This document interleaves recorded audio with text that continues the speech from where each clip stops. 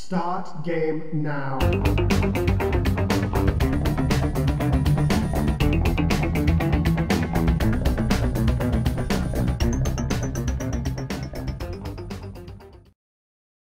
They do what they want to do, say what they want to say, sing how they want to sing, play how they want to play, dance how they want to dance, and some other stuff too. They're the Addams family. Welcome, retro fans. This is the No Swear Gamer with Retro Reviews. Today, Blue Ghost and I, oh, did I scare you? Blue Ghost and I will be reviewing the Addams Family for your Nintendo Entertainment System. Now, this is actually the second Addams Family game on the Nintendo Entertainment System, the first being Fester's Quest by Sunsoft.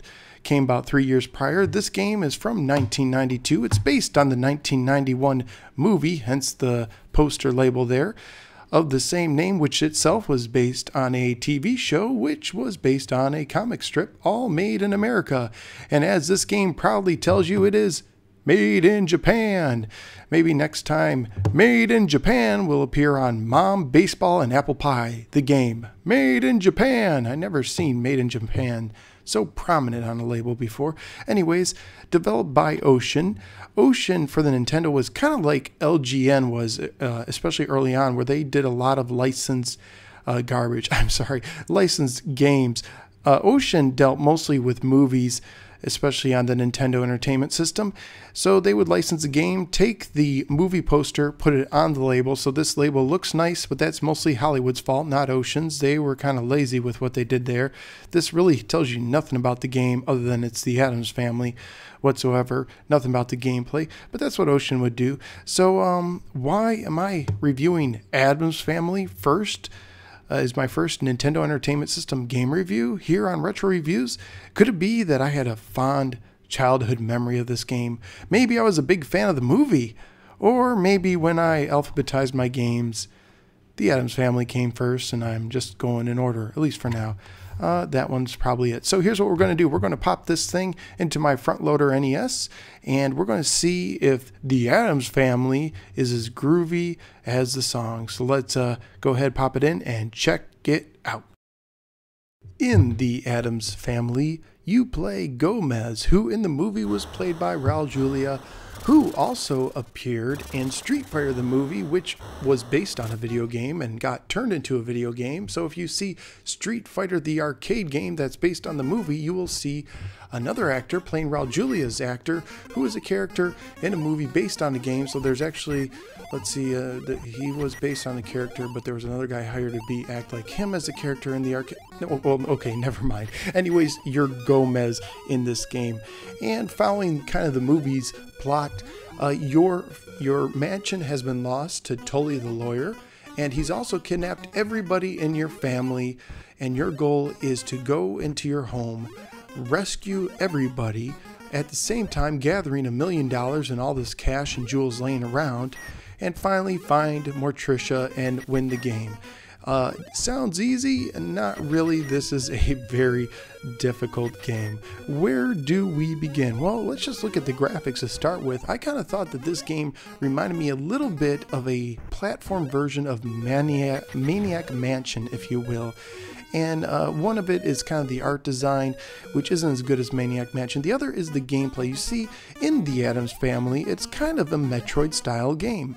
Uh, don't get too excited though, uh, where you go from one area to the other, gathering items in one area that will help you unlock items in the next area and will help you continue to open up different rooms and find more items. However, uh, unlike Metroid, it's not that much fun. One of the reasons why is because of the control. The control in the game is is okay, but sometimes frustrating. Uh, I found myself as I was playing this game trying to emulate the original Super Mario Brothers, holding B to run and, and A to jump. A does jump in this game, but B does not. B is used primarily to go into doors. If you're at a door, or an entranceway of some sort and hit the B button. If you're allowed to go in, you will go in. It does lead for some frustrations because there's a few times where I accidentally hit B again and immediately it kicked me outside of the door. But A is jump, it is your primary weapon. Uh, like Mario Brothers, you can jump on top of most enemies' heads to uh, defeat your enemy. But unlike Mario Brothers, the collision is not always perfect, and there's going to be times where you get frustrated jumping and trying to hit an enemy. One time you think you hit him spot on, and you do. The next time you jump at him, and you're actually getting hurt. That brings me to one nice thing that the Addams family has going for it. Um, Thankfully, they included a generous life bar, and you're going to need it because you're, going to get hit all the time. Now, the interesting thing about getting hit in the Addams family is when your um, icon detects a collision, when your little guy there is touching something that hurts him, as long as he's touching it, his life bar is going to get drained. There were times in the game where I would hit something and kind of walk along with it, and it would continue to hurt me. So your best bet is when you get hit is just to let whatever hit you go by you and not move for a second so that it stops damaging you. Also there's a section where there's all these platforms made of these floating bones.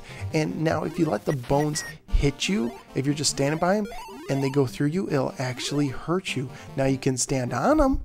That won't hurt you but the bones actually going through you will hurt you. An incredible, an incredible deal. Whoever heard of a platformer where the platforms hurt you? It does in the Addams family. So, anyways, you go from room to room. The game doesn't offer you a lot of help. It doesn't really hold your hand. The manual does give you a few hints here and there what to look for, but they're kind of vague. So there's a lot of trial and error.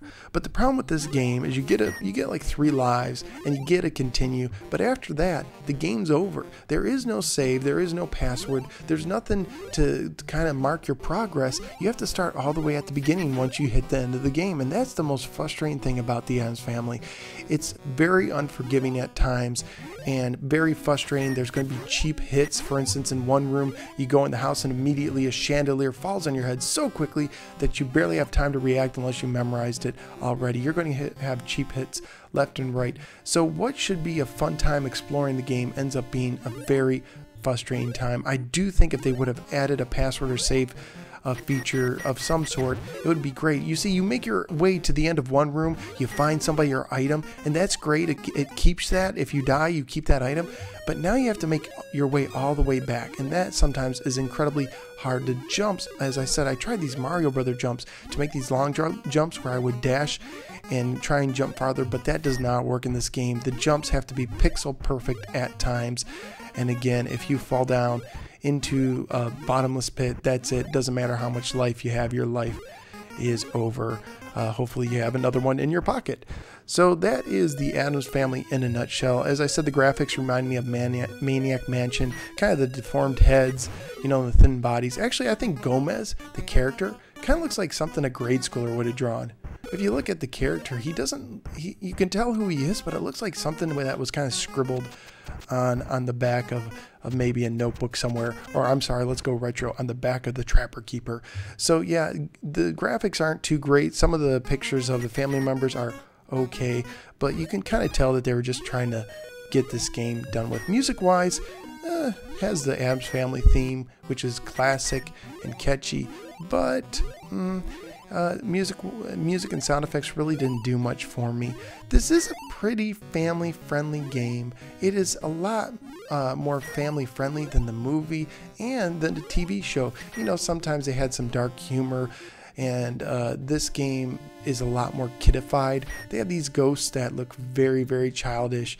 There is some skeletons, but there's nothing too scary in this game. There is no blood, so um, it is a darker setting. So maybe some younger kids might get a little scared by some of the skeletons and whatnot, but most kids are going to laugh at this. They're not going to find this offensive at all or scary at all. So it is a family friendly game, but on the whole, I would have to say I'm going to pass on the Addams family for the Nintendo. Just way too frustrating. If you do want a copy, you can find them on eBay. Loose copies are about 8 to 10 bucks a pop. So it's a little uncommon compared to, you know, games like Super Mario or even tennis or golf. A little bit uncommon, probably because most people didn't even buy it in the first place, but it's not that collectible. You want a complete copy, it's going to set you back about $20. Uh, the Addams Family was released on some other platforms. I know the Super Nintendo got a version that was a lot more colorful. Um, I'm going to assume that that one is funner, but I've not played it yet. It definitely looked better, at least in this in the still shots. But as far as Addams Family for the Nintendo Entertainment System, yeah, we're going to pass. So let's see how we're going to rank this one.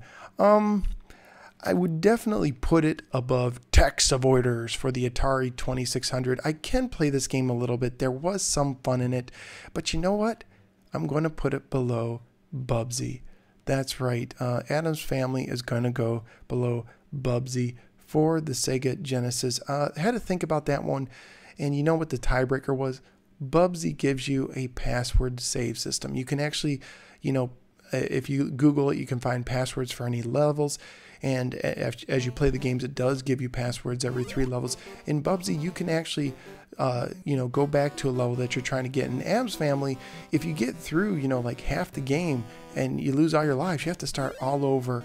And it wasn't fun getting halfway through to begin with. So yeah, Addams Family, hey, you're better than tax avoiders. So, anyways, thank you for checking out retro reviews with the No Swear Gamer. If you enjoy this, please like it. And if you like videos like this, why don't you go ahead and subscribe? It is free on YouTube. That's better than getting GamePro. You'd have to pay for that. Do they still make GamePro? I wonder. So this is the No Swear Gamer saying thanks for giving me a little part of your day. I will see you next time.